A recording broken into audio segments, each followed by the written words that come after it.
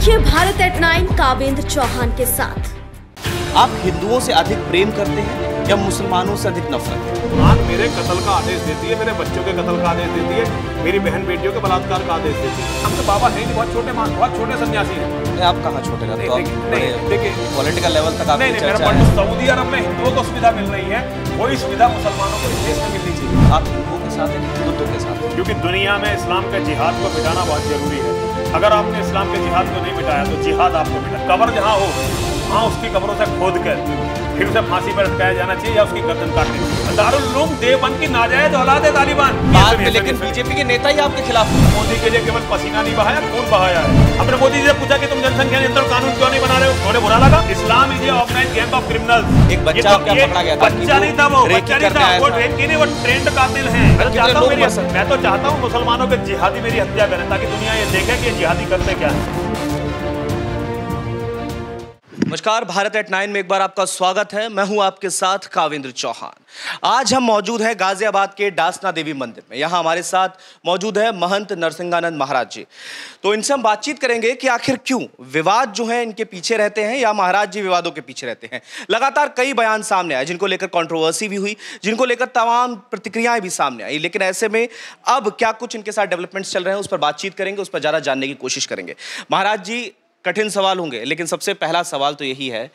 आपके बारे में बातचीत ज़्यादा चलती है, चर्चाएँ ज़्यादा चलती हैं तो ऐसे में एक सवाल जो है, वो जनता ने हमारे पास भेजा था। सबसे पहले उसी से शुरुआत करेंगे। आप हिंदुओं से अधिक प्रेम करते हैं या मुसलमानों से अधिक नफरत? मैं इस्लाम से ज़्यादा नफरत करता हूँ। हिंदुओं से कोई खास प्रेम नहीं है मुझे। अच्छा। जितना दुनिया के दूसरे लोगों से प्रेम है उतना ही हिंदुओं से प्रेम है। इतने जितना मुझे हिंदुओं से प्रेम है ना उतना ही सिखों से प्रेम है उतना ही जैनों से प्रेम है उतना ही बौद्धों से। है तो वैसे मैं सनातन क्रिश्चियन से भी उतना ही प्रेम है। क्रिश्चियन से भी उतना ही प्रेम है यहूदियों से भी उतना ही प्रेम है पारसियों से भी उतना ही प्रेम है। जो मेरा दुश्मन नहीं है मैं उसका दुश्मन नहीं हूँ। मैं केवल उसका दुश्मन हूँ जो मेरा दुश्मन है। इस्लाम से मेरी लड़ाई है वो इसलिए है कि उन्होंने कुरान में लिख दिया है उनके यहाँ मोहम्मद हुआ। मोहम्मद ने जो काम किए मैं उसके बारे में पूरी दुनिया को सच्चाई बताता हूँ और उनकी कुरान मैंने जो है थौरों पढ़ी है। हम्म, हम्म, मतलब कुरान का एक एक अक्षर मैंने पढ़ा हुआ है और मुझे। पता है कि वो कुरान मेरे कत्ल का आदेश देती है मेरे बच्चों के कत्ल का आदेश देती है मेरी बहन बेटियों के बलात्कार का आदेश देती है।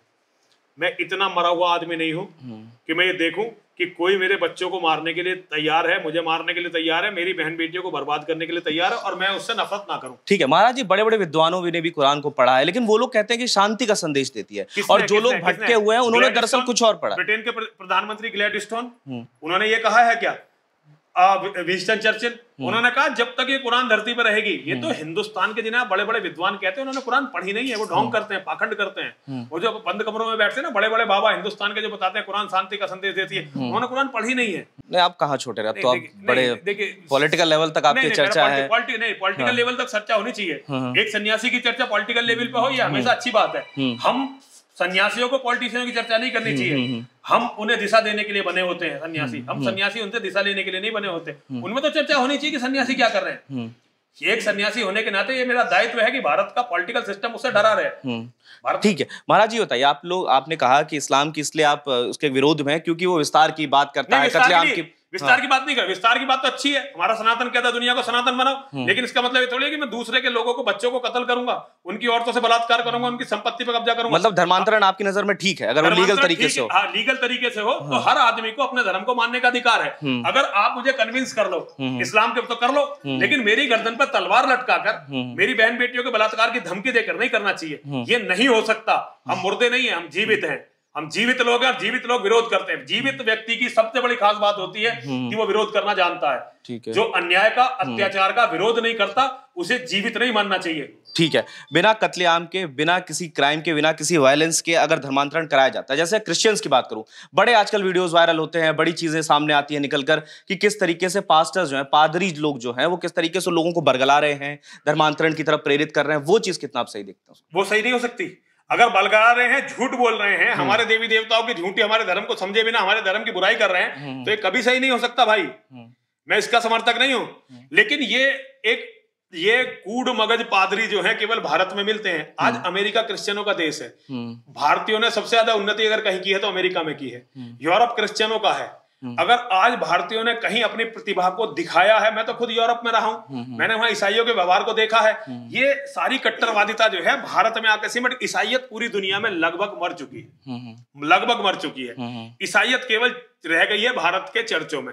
उसका कारण है देखिए ईसाइयों में एक बहुत अच्छी बात है। इतने सारे देश हैं महाराज जो सबसे ज़्यादा नंबर वन पे जितने ज़्यादा देश हैं जो सबसे ज़्यादा मानते हैं वो क्रिश्चियंस को ही मानते हैं। लेकिन लेकिन सुनिए ना हाँ। आप क्रिश्चियनों का एक मुझे ऐसा देश बताओ जो आपके लोकतांत्रिक अधिकारों का सम्मान न करता हो।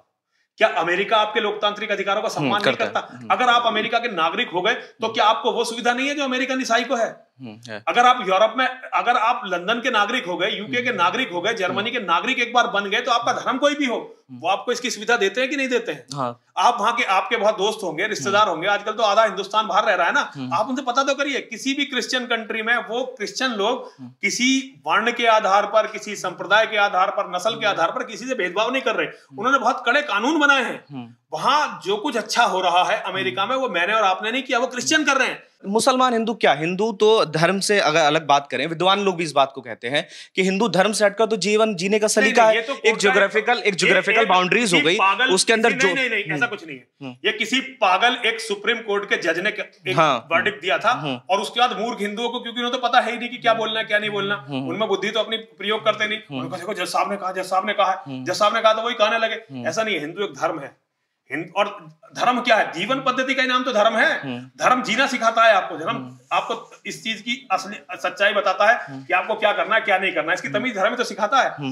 धर्म ने हमें सिखाया कि किसकी पूजा करनी है किसकी पूजा नहीं करनी है। धर्म ने हमें सिखाया कि हमें अपनी बहन के साथ क्या व्यवहार करना माँ के साथ क्या व्यवहार करना बेटी के साथ क्या व्यवहार करना पत्नी के साथ क्या व्यवहार करना मित्र के साथ क्या व्यवहार करना रिश्तेदारों के साथ क्या इसी को धर्म कहते हैं। आप धर्म आप क्या मान रहे हैं पूजा पद्धति धर्म नहीं होती। धर्म होती है जीवन को जीने का तरीका। हिंदुत्व अपने आप में संपूर्ण जीवन जीने का तरीका है। हम्म, आप हिंदू आप हिंदुओं के साथ हैं कि हिंदुत्व के साथ हैं? दोनों अलग अलग चीज़ें नहीं नहीं दोनों अलग अलग चीज़ नहीं है। ये तो कुछ लोगों ने बनाने का प्रयास किया लेकिन ये दोनों बिल्कुल अलग चीज़ें नहीं है दोनों एक ही चीज़ें हैं। मैं हिंदुओं के साथ हूँ हिंदुत्व के साथ हूँ। उससे ज़्यादा मैं इस्लाम का विरोधी हूँ। मैं पूरी मानवता के साथ हूँ। जो मेरे लिए खतरा नहीं है मैं उससे लड़ना नहीं चाहता। मैं चाहता हूँ वो सब एक रहें और सब मिलकर इस्लाम के जिहाद से लड़ाएँ क्योंकि दुनिया में इस्लाम के जिहाद को मिटाना बहुत ज़रूरी है। अगर आपने इस्लाम के जिहाद को नहीं मिटाया तो जिहाद आपको मिटाएगा। ठीक है आप क्या चाहते हैं यहाँ पर? जर्मनी के ज्यूस ज्यूस की तरह जिस तरीके से किया गया बर्ताव यहूदियों के साथ वो मुसलमानों ने करवाया था। अब वो खुल के आ गई। हिटलर को बरगलाया था मुसलमानों के कुछ लोगों ने और उन्होंने हाँ। नहीं वो चीज़ अगर सही नहीं थी तो फिर यहाँ पर कैसे सही हो सकती? है वो, हैं वो सुनिए सुनिए सुनिए सुनिए। मैं उस पर डिस्कस नहीं कर रहा। वो उनकी परिस्थिति उन्हें पता होगी वो डिस्कस करेंगे। मैं उस पर डिस्कस नहीं कर लेकिन मैं 1400 साल में अपने हिंदुओं के हुए कत्लेआम को उन पर हुए अत्याचारों की बात करता हूँ। हमने कहीं दुनिया में जाकर लोगों को ऐसे नहीं मारा। किसी की औकात नहीं होनी चाहिए कि वो अपनी किताबों में लिख के रख दे कि हमारा कत्ल उसके लिए जायज़ है हम उसके लिए वाजिबुल कत्ल है। जिसने ये लिखा है वो अपराधी था। मेरे 500 करोड़ भाई बहनों की हत्या का मुकदमा उस पर चलना चाहिए और उसकी कबर जहाँ हो वहाँ उसकी कबरों से खोद कर फिर उसे फांसी पर लटकाया जाना चाहिए या उसकी गर्दन काटनी चाहिए। जिन्होंने इस तरह के कत्लेआम को करवाया है जो इस कत्लेआम के इस गुनाहे अजीम के जिम्मेदार हैं। ठीक है तो फिर क्या करना है? पच्चीस करोड़ तीस करोड़ जो मुसलमान है भारत में उनमें क्या करना है फिर उनका? देख उनका क्या करना है? उन्हें पता ना इस्लाम की असलियत को कि इस्लाम क्या है जिस दिन वो इस्लाम आप कैसे बताएँगे? आप तो उनसे कट ऑफ़ हो चुके हैं उनसे आप अलग हो चुके हैं आपकी। हाँ। जितना मैं मोहम्मद की और कुरान की सच्चाई दुनिया में बता रहा हूँ हम्म। मुसलमानों का मन उतना ही बदल रहा है। आप पूरी दुनिया में देखेंगे इस टाइम एक्स मुस्लिम मूवमेंट जो है बहुत ताकत जड़ पकड़ता जा रहा हम्म। है केवल अगर ये कम ही कमज़ोर है तो भारत में कमज़ोर है क्योंकि भारत का पॉलिटिकल सिस्टम इस्लामिक जिहाद के चरणों में बैठा हुआ महाराज अगर आप सीधे जाकर नहीं मिलेंगे तो कैसे आपका मैसेज मिलूँगा? मैं तो मेरा तो मैसेज है। मैं तो सारे मुसलमानों कह रहा हूँ भाई इस गंदगी को छोड़ो। तुम हम में से थे तुम भाई थे हमारे हमारा हम्म। परिवार थे। तुमने गंदगी को अपना लिया तुम्हारे सपनों में हमारी बहन बेटियाँ अपनी बहन बेटियाँ आने लगी। हम्म। अभी तालिबान ने क्या किया? है आप इस्लाम की खूबसूरती को जो समझो तो सही। हम्म, एक भाई घर में पठान रह गया एक भाई तालिबान। तालिबान का मतलब क्या? तालिबान का मतलब इस्लाम का विद्यार्थी। हम्म हम्म। तालिब तालिब का तालिब तालिबान हाँ, है ना? विद्यार्थी तो, एक मान लो हम दोनों सगे भाई हैं हम्म, मुसलमान हैं आप मदरसे पढ़ने चले गए तालिबान बन गए मैं घर में रह गया। हम्म। जिस दिन तालिबान का शासन आया आपका शासन आया आपने मेरी बहन बेटियों को नीलाम कर दिया। अपनी बहन बेटियों को नीलाम किया ना ये उन्हें समझाने की ज़रूरत है।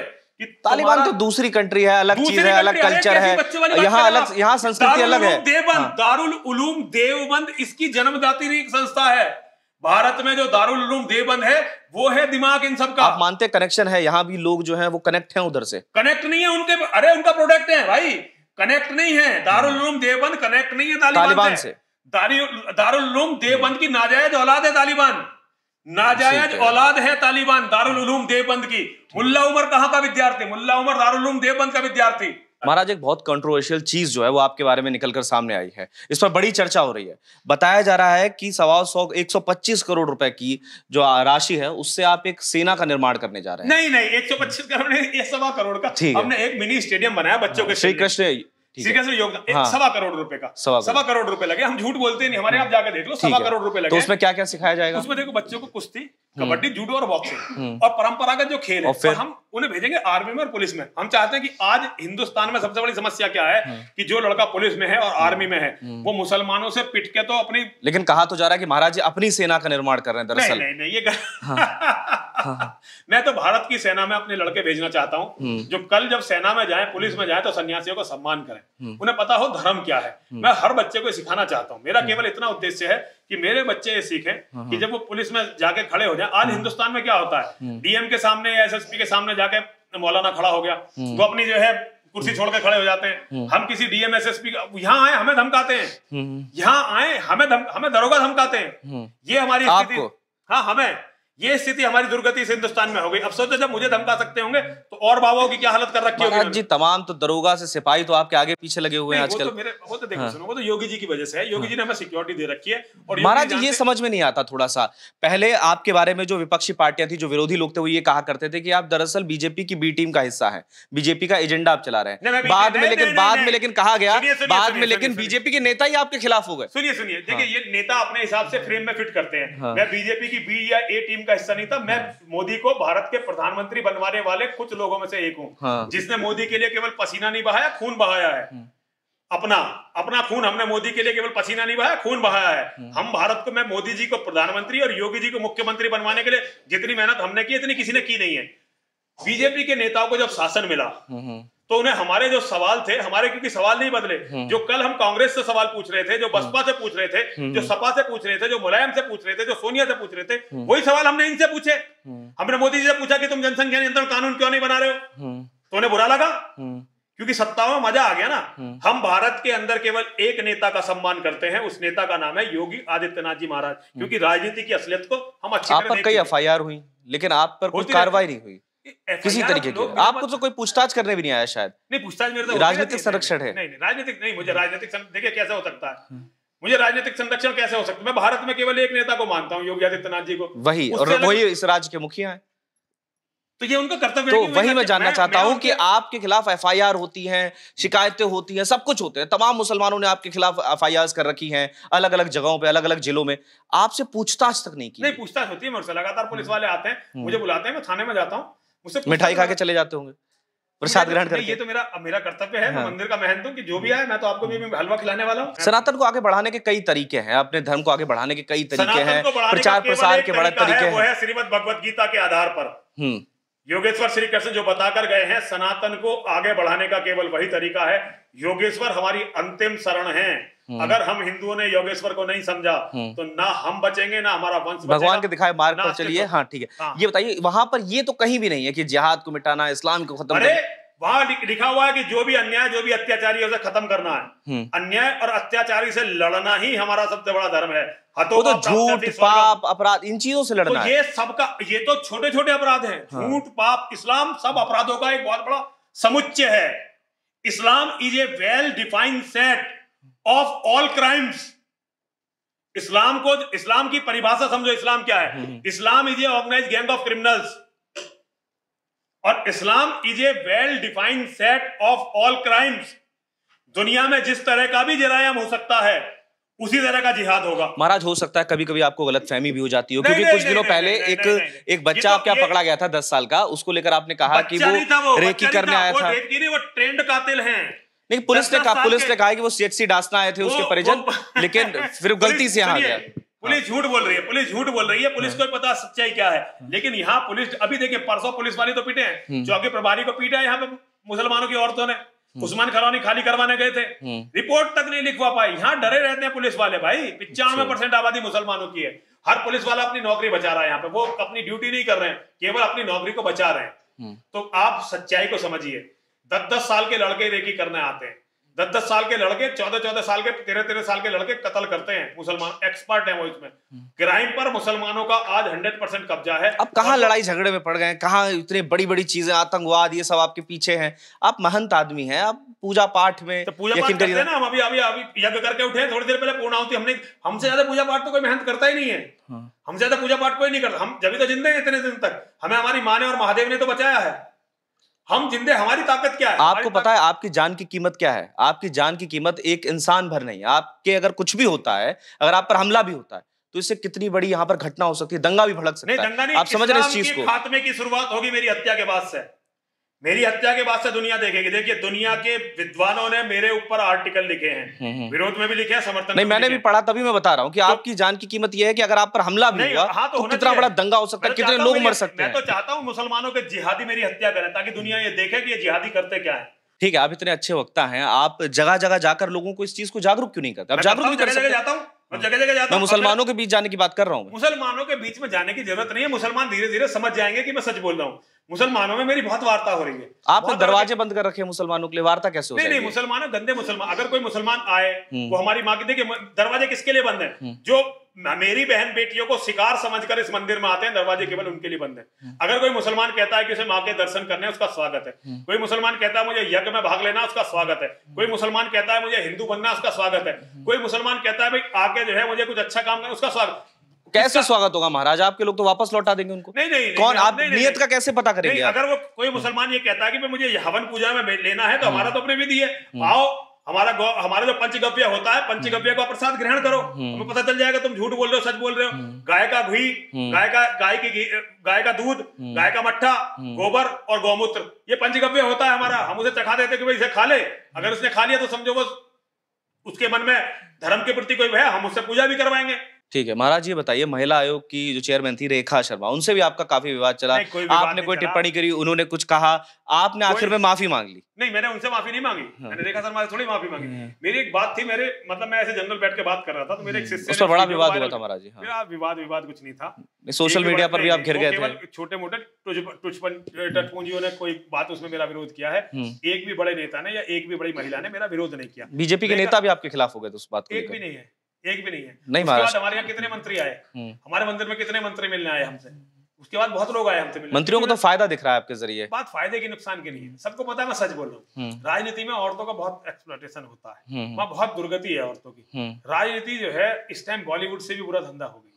वहाँ जितनी भी महिलाएँ हैं अच्छी महिलाएँ घर बैठ गई हैं। जितनी भी अच्छी महिलाएँ हैं वो अपने घर बैठ गई है वो राजनीति में जाना नहीं चाहती हैं। या कोई बहुत बड़े परिवार की तो क्या आप क्या समझते हैं कि राजनीति में महिलाओं की जगह नहीं होनी चाहिए? देखिए जगह होनी चाहिए सम्मान के साथ। हम्म। उन्हें जो है छोटी छोटी बातों के लिए अपनी इज़्ज़त से समझौता नहीं करने देना इतनी बड़ी बड़ी महिलाएँ जो थी राजनीति में शिखर तक पहुँची उन पर क्या कहेंगे फिर? यार क्यों बिना मतलब मेरे से बकवास नहीं करवा नहीं नहीं नहीं मैं जानना चाहूँगा मैं जानना चाहता हूँ। मैं- मैं स्मृति ईरानी जी हुई केंद्रीय मंत्री बनी स्मृति ईरानी जी के हाँ, बारे में क्या कह सकता हूँ? हाँ। सारी दुनिया उनकी हाँ। के सामने नतमस्तक है हाँ। मैं क्या कह सकता हूँ उसके हाँ। बारे में तो मैं कुछ भी नहीं कहूँगा तो इतनी बड़ी है मैं तो उन्हें नमस्ते करता हूँ बस प्रणाम है बहुत ठीक है वही मैं जानना चाहता था। प्रियंका चतुर्वेदी वही हुई कांग्रेस की राज्यसभा भेजी गई सांसद हैं। इतने बड़े बड़े लोग हैं। सुनिए जैसे प्रियंका गांधी की बात नहीं कर वो राज परिवार से है। नहीं नहीं प्रियंका चतुर्वेदी की बात कर रहा था। प्रियंका गांधी की बात कर ली, वो तो राज परिवार से है। प्रियंका चतुर्वेदी कांग्रेस से राज्यसभा भेजी गई। ऐसी कितनी महिलाएँ हैं जो आगे सार्वजनिक बढ़कर जीवन में बहुत लंबा मेरा अनुभव रहा है। मैं सार्वजनिक जीवन में रहा हूँ मैं सार्वजनिक जीवन की सारी सच्चाई को जानता हूँ। तो आप उसको बाहर लाइए। चाहते हो कि हाँ। मुझे एक और मुकदमा मेरे पे हो? नहीं नहीं मुकदमा नहीं चाहता। आप पर कौन मुकदमा लिखवाएगा? आप पर कहा मुकदमा होता है महाराज जी अच्छा आप पर कहा मुकदमा होता है? आप पर मुकदमा नहीं होता। अच्छा आप पर मुकदमा नहीं होता। शिकायत होती वही दबा दी जाती है। आप पर मुकदमा कहाँ होता है? कोई नहीं शिकायत दबती लोग हमें बहुत खत्म करना चाहते हैं। देखिए हमारे पे शिकायत इसका कारण है शिकायत दबाने का एक बहुत बड़ा कारण ये नहीं महाराज ये थोड़ा इस पर खुलकर बात ये कर सबको हैं कि महिलाओं का राजनीति में होना चाहिए। होना चाहिए शेयर होना हाँ, चाहिए। बिल्कुल। महिलाएँ हमारे देखिए हम हम हैं सनातनी। हम्म। हमारा सनातन धर्म ये कहता है कि जहाँ नारी का सम्मान होता है हम्म। नारी को पूजा जाता है हम्म। वहाँ देवताओं का वास होता है। तो ह- हमेशा नारी होनी चाहिए। हम्म। लेकिन इस तरह से नारी नहीं होनी चाहिए जिस तरह आज राजनीति में स्मृति ईरानी है या कोई और नारियाँ हैं इस तरह से नहीं होनी चाहिए भाई। हम्म। राजनीति में इसकी जगह नहीं। स्मृति ईरानी ने बहुत मेहनत करी बहुत मेहनत करी एक बड़ा नाम तो- कमाया उसके बाद हाँ, वो वो तो- अमेठी में राहुल गांधी को तक हरा दिया। उन्होंने दिखाया कि वो कितनी बड़ी नेता है। तो तो उन्हें टिकट क्यों मिला वहाँ से? और किसी को मिल सकता था? क्या महिला उन्होंने काम किया। हाँ, उन बत- बोला गया कि उन्होंने तो काम किया पास। और उन्होंने तो किया ही नहीं। हाँ। हमारी बहुत सारी बहनें उन्होंने तो बेचारे उन्होंने काम करा नहीं जो बचपन से लगी थी। हाँ। और बूढ़ी होकर मरी। मोहल्ले का टिकट तक नहीं मिला। मोहल्ले का टिकट तक नहीं ले पाई। ऐसा नहीं है संघ को बड़ा बनाने में बहुत सारे कार्यकर्ताओं ने अपनी जान दी है जिसमें महिलाओं की भी बहुत थी। ठीक है महाराज जी आप जिस एक्सप्लोइटेशन की बात कर रहे हो तो हर चीज़ में है सरकारी दफ्तरों में है हर आप- जगह है। आप तो किसी भी मतलब- आईटी तो- कंपनी की तो बात कर लीजिए इंजीनियरिंग कॉलेज स्वागत तो किया जा सकता। तो आप हर चीज़ को नापिए फिर आप हर चीज़ में कहिए कि हर चीज़ में महिलाओं को सम्मान की ज़रूरत है। सुनिए सुनिए आप केवल राजनीति में जो नहीं, तो खुद ही आप कंट्रोवर्सी क्रिएट कर रहे हैं हाँ। राजनीति की बात नहीं कर रहा। बॉलीवुड में भी बहुत बुरा हाल है और भी जगह- जहाँ भी कहीं चमक है वहाँ बहुत बुरा हाल है भाई। हम्म, और सर, अब सरकारी अफसरों में क्या दफ्तरों में क्या हो रहा है? वो सहमति की बात है। हम्म, वहाँ को ये नहीं है कि वहाँ ज़बरदस्ती है। हम्म, राजनीति में ज़बरदस्ती राजनीति में ज़बरदस्ती आपको कुछ करवाना है तो आपको ये करना पड़ेगा। हम्म, क्योंकि राजनीति का सिस्टम पुरुषों के हाथ में है। जितनी भी आपको बड़ी महिलाएँ राजनीति में दिखाई दे रही है ना मैं एक का भी सम्मान नहीं करता। एक भी महिला का सम्मान बड़ी बात कह रहे हैं आप। हाँ मैं बिल्कुल सच कह रहा हूँ। हम्म। मैं श्रीमती इंदिरा गांधी का सम्मान करता हूँ। हम्म, वो तो राज परिवार से आए वो तो राज परिवार से हैं, है लेकिन हाँ। फिर भी उनमें था कि मैं उनका सम्मान करता हूँ। हम्म। बाकी जो नीचे से उठकर जो ऊपर तक पहुँची उन्होंने काफ़ी मेहनत की होगी संघर्ष किया नाम बताइए नाम बताइए। मैं स्मृति ईरानी जी का नाम समझ तो लीजिए मैं उनका सम्मान नहीं करता। ठीक है। प्रियंका चतुर्वेदी जी हुई राज्यसभा मैं सांसद उसके बारे में ज़्यादा जानता नहीं। ये बताइए ठीक है काफ़ी समय से आपके यहाँ लगातार कंट्रोवर्सी आ रही है कि आज हमने इसको पकड़ा ये हमें मारने आया था आज हमने इसको पकड़ा ये मारने आया था लेकिन अभी तक कुछ निकल के नहीं आया आखिर में। थे कौन लोग? ये क्या बात कर रहे हैं। ठीक है धर्मांतरण का रैकेट पकड़ा गया था पूरा गिरोह पकड़ा गया था। लेकिन धर्मांतरण के गिरोह से आपका क्या संबंध? वो मारने तो नहीं मारने वाली कोई चीज़ निकल कर सामने नहीं आई योगी आदित्यनाथ जी महाराज ने खुद खड़े होकर कहा टीवी पे बैठ के कहा कि हमारे संत को मारने आए थे। हम्म। भारत इसमें यूपी में योगी आदित्यनाथ जी से ज़्यादा ऑथेंटिक कौन व्यक्ति है? उन्होंने खुद कहा ये तो पुलिस वाले नकारते हैं लेकिन फैक्ट ये है कि वो मारने आए थे हमें। और उनके पास साइनाइड था। हम्म, हमने अच्छा। पुलिस को पकड़ के दिया। साइनाइड को लेके क्यों जाएगा? हम्म, हम्म, साइनाइड लेके आए थे वो यहाँ हमें। वो उनके पास सर्जिकल ब्लेड थे। साइनाइड था स्केल था लोहे वाला। जिसे गर्दन में फंसा देते हैं वो बड़े एक्सपर्ट लोग थे जो हमें मारने आए थे। तो भैया मार अच्छा फिर दिल्ली में जो भी आतंकवादी पकड़ा जा रहा है आप पता कर लो। वो सबसे पहले बता रहा कि मेरा टारगेट नरसिंहानंद था जो मैं थोड़ी पकड़ रहा हूँ पुलिस पकड़ रही है तो मैं थोड़ी पकड़ रहा हूँ। दिल्ली में पिछले तीन साल में अभी परसों आतंकवादी पकड़े गए हैं दिल्ली में। उनके पास सबसे पहली चीज़ क्या मिली? दासना देवी मंदिर का नक्शा हम्म। और मेरा फ़ोटो। वो क्या मेरी पूजा कर रहे थे? उनके अंदर फ़ोटो आराम है। उस फ़ोटो को कर क्या रहे थे वो? क्या मेरी पूजा करने के लिए ले रखा था दिल्ली पुलिस ने सार्वजनिक मंच पर रखी है बात? नहीं सार्वजनिक नहीं रखेंगे वो। सार्वजनिक मेरा कद बढ़ा देंगे बेचारे। अच्छा। मेरा कद भी तो नहीं बढ़ने देना ना। राजनीति के लिए मैं एक बहुत बड़ी थ्रेट हूँ। हम्म, राजनीति के लिए मैं एक धमकी हूँ। एक ऐसा आदमी जिसकी रीढ़ की हड्डी बिल्कुल सीधी है जो बिना किसी से दबे बिना किसी से झुके बिना किसी के लिए फ़ायदे कह लिए हैं आप किसी के लिए नुकसान करने वाले हैं। ये राजनीति नहीं, समझा जा रहा है। बीजेपी जो चाहती है बीजेपी की विचारधारा ही तो आप आगे बढ़ा नहीं हैं। बिल्कुल बीजेपी जिस तरीके से पोलराइज करती है आप भी पोलराइज करते हैं। नहीं नहीं नहीं, हाँ। मैं पोलराइज नहीं कर रहा। मैं तो भारत को बचाने का प्रयास कर रहा हूँ अंतिम प्रयास। देखिए मैं अच्छी तरह जानता हूँ बीजेपी की नीति है दो में भारत का प्रधानमंत्री मुसलमान होगा। भारत का प्रधानमंत्री एक बार मुसलमान बना तो केवल अगले 20 सालों में 50 परसेंट हिंदुओं का कन्वर्जन हो जाएगा। 40 परसेंट हिंदुओं का कत्ल हो जाएगा 10 परसेंट हिंदू बचेंगे वो कहीं विदेशों में या रिफ्यूजी कैंपों में रह रहे होंगे। मैं इस भविष्य को बिल्कुल ऐसे पढ़ पा रहा हूँ महाराज मुसलमान तो शिक्षा के लिए तक लड़ रहा है वो कह रहा है कि शिक्षा उसे शिक्षा ही दे दो उसे शिक्षा तक मिल नहीं रही उसे तो कहीं मिल रही रहा अगर पंद्रह पंद्रह बच्चे पैदा करेंगे शिक्षा मिलेगी कहाँ से? आपको लगता वो जमाने पुराने हो गए? अब कहा पंद्रह बीस आप बच्चे? हमारे डांस में चलो भी हमारे साथ। हम आपको कम से कम पचास ऐसे परिवार दिखाएँगे जिनमें एक दर्जन से ज़्यादा बच्चे हैं। और खाने के लिए रोटी नहीं है उनके पास। वैसे तो ऐसे हज़ारों परिवार हैं यहाँ पे। इसके पीछे आपको समस्या नहीं लगती कि कम्युनिटी में एक साथ रहते हैं घुलते मिलते नहीं और लोगों से आम जीवन में? वो सब सारे वो चोरों के डकैतों के हत्यारों के गिरोह हैं वो मिलके रहते हैं। कम्युनिटी में मिलके रहते हैं वो कम्युनिटी में मिलके देखिए हम्म, सुनिए इस्लाम अपने आप में एक पूरी पूरा तंत्र हम्म, है इस्लाम ये मना करता है कि तुम्हें किसी काफिर से मिलना नहीं हम्म, है वो इस्लाम को फॉलो करते हैं। भाई वो अपने धर्म के बहुत पक्के हैं। धर्म पे जितना कच्चा है वो हिंदू कच्चा हम्म। है इस्लाम अपने धर्म पे बहुत पक्के हैं मुसलमान वो उसी को फॉलो कर रहे हैं जो मोहम्मद उन्हें कह के गया है जो कुरान में लिखा हुआ वो उसी को फॉलो कर रहे हैं। ठीक है। तो आपसे जो मेरा आज पूरा साक्षात्कार का जो मेन एजेंडा था वो यही था कि ये खबर सुनने में आई कि आप खैर मेरे को तो 125 करोड़ का सुनने में आया था। चलिए ठीक है सवा करोड़ का जो आप निर्माण कर रहे हैं श्री कृष्ण योगधाम का उसके ज़रिए ये चर्चा आम है। पटल पर पब्लिक पटल पर कि आप उसके ज़रिए अपनी खुद की एक सेना का निर्माण करने जा रहे हैं। ये ये नहीं ये मूर्खतापूर्ण बातें हैं। ये हमारे खिलाफ जो है बहुत सारे लोग हैं नेता भी होते हैं अभिनेता भी होते हैं। हमारे विरोधी बहुत सारे हैं वो ये ओपन है सब कुछ ओपन है सब कुछ। आप योग सिखाएँगे एक्सरसाइज सिखाएँगे उसके साथ मार्शल आर्ट भी सिखाएँगे, हाँ, कुश्ती भी हाँ, हाँ, सिखाएँगे और फिर उन्हें अपनी सेना में शामिल करेंगे। नहीं नहीं उन्हें भारतीय सेना में भेजेंगे हम्म। ताकि कल को कोई देखिए बुज़ुर्ग हम बुज़ुर्गों में हैं आज भारत के बुज़ुर्गों में हैं। हम्म, हम जो पेड़ लगाते हैं इस उम्मीद से नहीं लगाते कि इसका फल हम खाएँगे इनका फल कोई और खाएगा। हमें जो अपने जीवन में इतना अपमान सहना पड़ा हमें पुलिस वाले दो दो मतलब जो हमारे बच्चों जैसे हैं वो भी धमका देते हैं।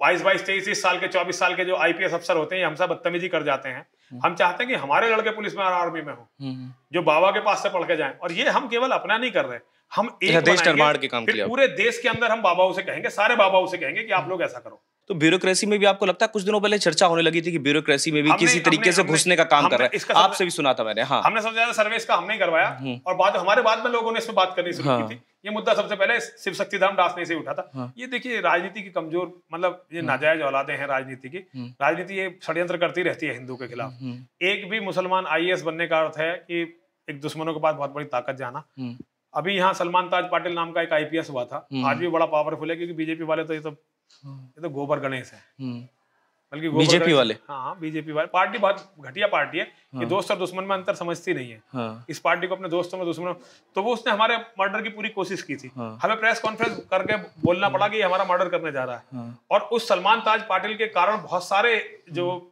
हिंदू आईएएस आईपीएस थे वो हिंदूवादी हुए। महाराज जी एक आईएएस की भी खबर आई थी कानपुर से कि वो आईएएस अपने घर पर अपने सरकारी हाँ। कार्यालय पर धर्मांतरण की शिक्षा दे रहा था। हाँ ये हम बहुत पहले से कह रहे हैं। मुसलमान चाहे अब्दुल कलाम के रूप में राष्ट्रपति बन जाए हम्म। चाहे हामिद अंसारी के रूप में उपराष्ट्रपति बन जाए नहीं अब्दुल कलाम को तो लोग नहीं नहीं आप आइडल पता मानते उसके हैं। आइडियल मूर्ख मानते हैं। जो मूर्ख है वो उसे आइडियल मानते हैं। हम्म। फैक्ट ये है कि वो उतना ही जिहादी था जितना कोई जिहादी मदरसे छाप होता है ना वो बल्कि उससे बड़ा जिहादी था। नहीं हामिद अंसारी की तो बात हो समझ सकते हैं लेकिन अब्दुल कलाम की बात कर रहा हूँ जो राष्ट्रपति रहा हाँ, हाँ, हम मैं उन्हीं की बात कर- मैं उनकी नहीं उसकी बात कर रहा हूँ जिसे भारत रत्न मिला था हम्म। जो भारत का राष्ट्रपति रहा था जो अमेरिका गया था तो उसे नंगा करके तलाशी ली गई थी। सोनिया गांधी के नेतृत्व वाली जो सरकार ने जब ऑब्जेक्शन किया था तो उन्होंने 124 फाइलें दी थी यहाँ पे कि जिसे तुम अपने यहाँ इतना बड़ा वो मानते हो इसे हम फादर ऑफ़ इस्लामिक बम मानते हैं। अब्दुल कलाम को अमेरिका ने ये एविडेंस दिए थे भारत सरकार को। हम्म।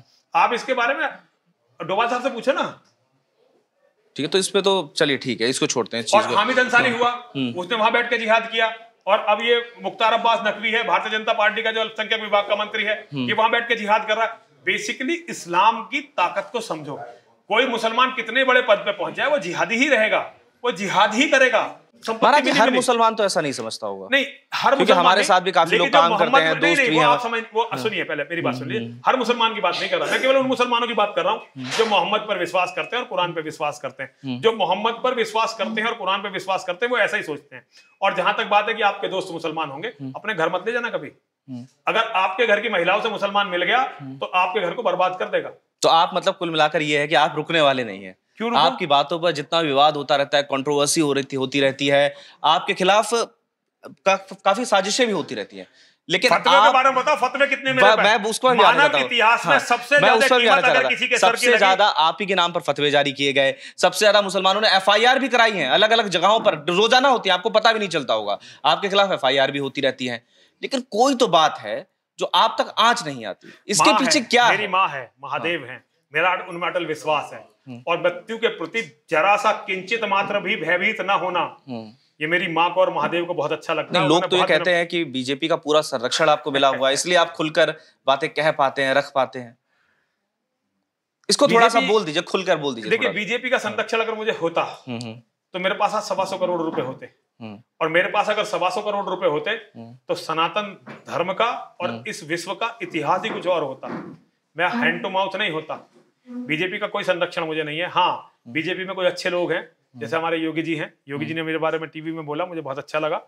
योगी जी को जब भी ज़रूरत पड़ी जब वो मुख्यमंत्री नहीं थे तो हम हमेशा उनके साथ रहे। हम योगी जी के एकलव्य हैं। हम्म, ठीक है मैं आपकी बात समझ गया कि आप पार्टी का आपने बता दिया कि पार्टी से आपका क्या कुछ है। आपने सीधे बीजेपी को जो कुछ कहना था वो कह दिया। आपने बता दिया कि आप सिर्फ़ नेता को पसंद करते हैं वो भी योगी महाराज को। ठीक है बहुत बहुत शुक्रिया आप हमसे बातचीत करने के लिए बड़ी बेबाकी के साथ आपने जवाब दिए। महाराज जी का बहुत बहुत शुक्रिया। तो आज हमारे साथ यति नरसिंहानंद महाराज जी हमारे साथ मौजूद थे जिन्होंने खूब बेका बेबाकी के साथ हमारे सारे सवालों के जवाब दिए और बहुत शानदार तरीके से अपनी बातों को रखा।